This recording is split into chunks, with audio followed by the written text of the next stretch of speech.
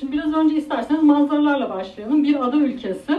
Güzel bir ülke esasen. Ee, onun da deniz manzaraları falan var ama şimdi tabii gelip e, karşılaştırınca Çanakkale'mizin manzaraları ya da bir şey değil tabii. Ama hoş bir ülke. Şöyle manzaraları biraz göstereyim.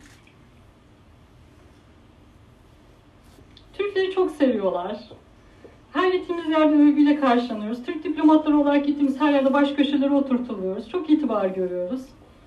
Ee, hakikaten kibar, eğitimli insanlar. Çok güzel ticaret imkanları var.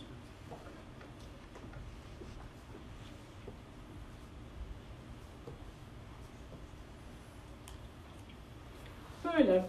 Ee, sunumu açayım. Arabistan'ın doğusunda küçük bir ada. Şöyle daha büyük haritada yerini görecek olursak.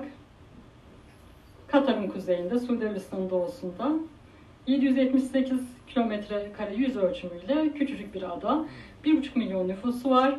Ee, ama 38.3 milyar dolar gayri safi yurt içi hasılası ve 46.47.6 bin Amerikan doları kişi başına milli geliri satın alma gücünün paritesine göre çok ciddi potansiyeli var.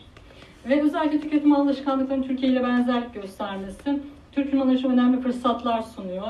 Gıda, giyim, mobilya gibi alanlarda daha detaylarına değineceğiz. Türk ürünleri çok güzel ilgi görüyor. Ee, henüz katma değeri daha yüksek teknolojik ürünlerde piyasada çok ciddi bir edinebilmiş durumda değiliz.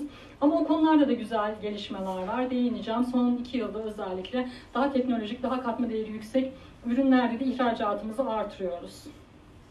Genel bilgilere şöyle bakacak olursak, ithalatı 17.4 milyar dolar, ihracatı aşağı yukarı 15 milyar dolar.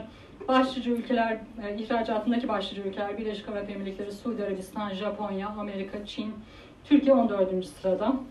İthalatına başlıca ülkeler Çin, Birleşik Arap Emirlikleri, Amerika, Suudi Arabistan, Japonya, Türkiye 16. sırada.